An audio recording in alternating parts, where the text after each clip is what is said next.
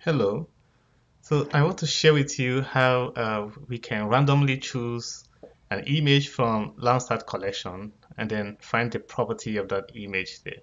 So uh, let's say we are asked to pick uh, a random image from a set of uh, image in a collection from Landsat. So here I'm using Landsat 5. Uh, I already imported a Landsat 5 and then I was able to see the property, but I want to randomly choose a single image and I don't want the I don't want to do this random selection for the entire uh, Landsat 5 collection. So what I want to do here is to pick the first 1000 image and then uh, from the first 1000 image then I randomly I can pick any image from the collection and then I can see the property and I can visualize it there. So what I did first here was to use the math function uh, to set seed and then I got the seed value and then I call uh, using random function here, uh, random column here to pick the first uh, 1000 image and apply my seed.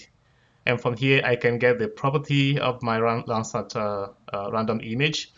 And when I do that, uh, some of the properties I tend to get was first, I want to see every property in that particular image. And then I want to get the band names for the particular image that I randomly selected and then I want to get the data acquired and I want this data to be in a format that is uh, computer friendly and also uh, that is human readable friendly there.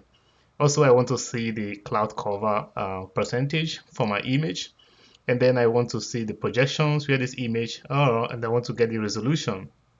So part of what I did also was to also uh, visualize this image, center it. Uh, so at every point, I want to display my image using a, a false color compose idea by uh, changing the color gun using the 432 uh, false color uh, false color combination there.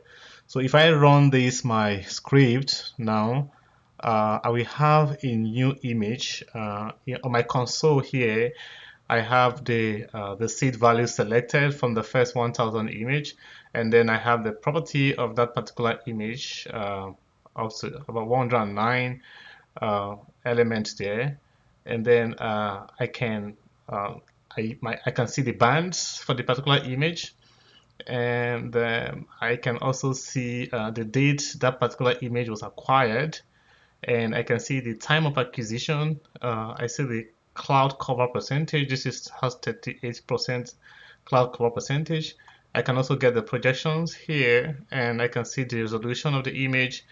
And then uh, let's see this particular image, uh, this false color composite image to see. So we see the, the cloud cover is about 30% there. So um, so I have, if I run it again, I'm going to get a new image and for a new location. And that is the goal of this uh, particular work to randomly select uh, any image from the first uh, 1000 in the, in the collection there. So now I have a new image and this have a new property. So this is the 297th image from the first 1000 and these are the element in the image and uh, this is the date of the acquisition is quite different. This time the cloud cover is just 20% there, right? So uh, I can do this and on, and I can know, whenever I keep running this, I can I'll have, I will keep getting a new image, and each image will have each a new property, and uh, I, I, can see that. So that is the goal of this task. I hope you enjoyed this video, and uh, if you like it, give uh, let me know. So uh, tell me more thing I can do. Uh, thank you so much.